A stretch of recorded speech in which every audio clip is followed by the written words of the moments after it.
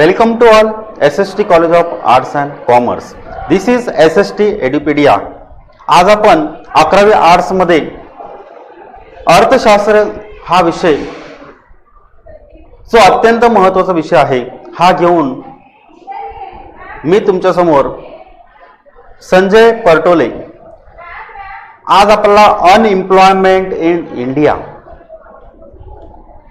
हा घटक घेऊन मी तुमच्यासमोर उपस्थित आहे. अनएम्प्लॉयमेंट म्हटलं की यामध्ये बेरोजगारी आणि भारतातील विशेषतः बेरोजगारी जी आहे ही बेरोजगारी आपण या ठिकाणी अभ्यासणार आहोत. भारतातील बेरोजगारीचा अभ्यास करत असताना आपल्याला अनेक घटकांचा या ठिकाणी अभ्यास करावा लागतो. आधार घ्यावा लागतो. आणि असा हा भारत भारत हा एक विकसनशील देश आहे. आणि यामध्ये जर आपण पाहिलं तर जगात वेगाने वाढणारी एक अर्थव्यवस्था म्हणून भारतीय अर्थव्यवस्थेकडे पाहिलं जातं. आणि एकंदरीत जर आपण या ठिकाणी पाहिलं भारताच्या विकासामध्ये खऱ्या अर्थाने बेरोजगारीची जी समस्या आहे ही समस्या आज एक मोठं आव्हान या ठिकाणी बनलेलं आहे. यातच जर आपण पाहिलं या बेरोजगारीमुळे एकंदरीत मानवी साधन संपत्ती जी आहे ही एक प्रकारे वाया घालवण्यासारखं या ठिकाणी आपल्याला दिसतं. त्यातच जर आपण यामध्ये पाहिलं तर दीर्घकालीन बेरोजगारीची जी समस्या आहे या समस्येमध्ये एक प्रकारचं मोठ्या प्रमाणावर वाढणारं जे काही दारिद्र्य आहे आणि संत गतीने होणारा जो काही आर्थिक विकास आहे हा आर्थिक विकास या ठिकाणी दर्शवत असतो. आज आपण पाहतो की बहुतांश जे तरुण वर्ग आहे या तरुण वर्गाला बेरोजगारी सारख्या समस्येला आज आपण बघतोय की सामोरं जावं लागते. आणि तरुण वर्ग जे आहेत ही खऱ्या अर्थाने आज आपल्या देशाची साधन संपत्ती आहे. एक संपत्ती म्हणून आपण त्या ठिकाणी पाहतो. तरुण वर्ग मोठी मानवी साधन संपत्ती आर्थिक विकास तांत्रिक नवकल्पनेची जी काही चालक शक्ती किंवा गुरुकिल्ली आहे आणि यातच आपण पाहिलं की भारताला खऱ्या अर्थाने आपण युवकांचा किंवा तरुणांचा देश असं आपण म्हणतो. कारण आपल्या भारतामध्ये लोकसंख्या जी आहे दोन हजार अकराच्या जनगणनेप्रमाणे एकशे एकवीस को एकवीस एकशे एकवीस पॉईंट दोन कोटी इतकी आहे. मग अशा या अतिरिक्त लोकसंख्या किंवा जास्त लोकसंख्या असलेला भारत हा देश आणि या देशामध्ये तरुणांची जी संख्या आहे ही सुद्धा जास्त आहे. मग तरुणातील जी बेरोजगारी आहे ही बेरोजगारी जर आपण पाहिलं तर एकवीसव्या शतकामधील भारतासमोर एक मोठं आव्हान आपल्याला ठरणार आहे. कारण इतक्या सर्व तरुणांना रोजगार पुरवणे हे देखील आज आपल्याला आव्हानात्मक ठरणार आहे.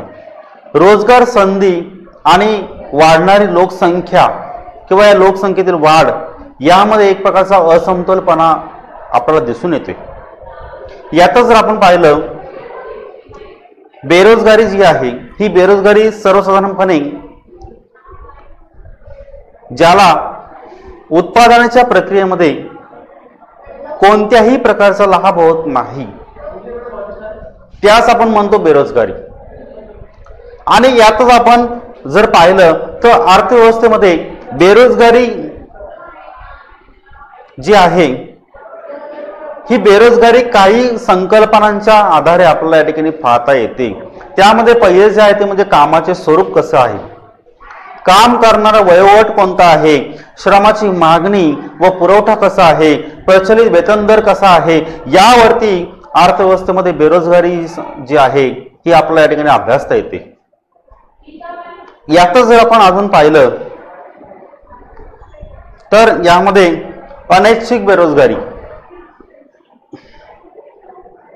आता अनैच्छिक बेरोजगारी जी आहे ही बेकारी म्हणजेच अशी एक अवस्था आहे की ज्यामध्ये लोकांची काम करण्याची पात्रता असते.